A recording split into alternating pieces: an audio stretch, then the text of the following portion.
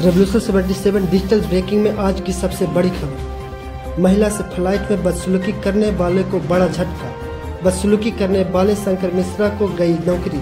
26 नवंबर को air India की फ़्लाइट न्यूयॉर्क से आ रही थी दिल्ली। नशे में धूत शंकर मिश्रा ने बुज़ुर्ग महिला पर कर दिया था पेशाब।